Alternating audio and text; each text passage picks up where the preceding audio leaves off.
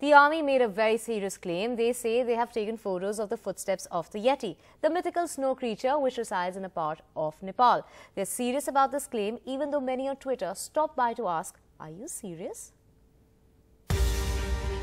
They may not have found the missing Pakistani F-16, but India's armed forces, the army more precisely, claims to have found clues on one of nature's most enduring mysteries, the existence of the Yeti, or abominable snowman.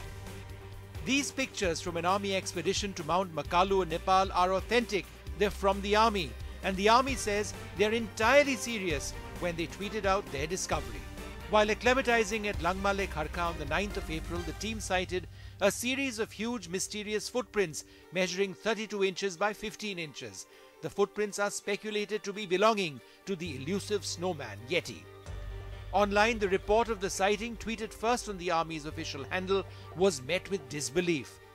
The MIT professor Vipin Narang says the Indian Army's Yeti story is either the most epic trolling of the Indian Air Force F 16 kill claim, or they've truly lost their minds. While others, like the RSS ideologue Tarun Vijay, introduced Sabhyata into the debate. Please, you are Indian. Don't call Yeti as beast. Show respect for them. If you say he is a snowman. Akhilesh Yadav took a dig at the government. It seems that Achhe Din are more elusive than the Yeti. And then there was the homepage of Tintin, the intrepid fictional reporter who'd also spotted the Yeti. And this gif of a dancing Yeti was shared on WhatsApp. देखना है कि यति कहाँ छुपा हुआ है तो क्या राहुल जी अपने नागरिकता के यति की सच्चाई को बताएँगे या उससे दूर भटेंगे Leading scientists are skeptical of the claims. Some say this was a bear.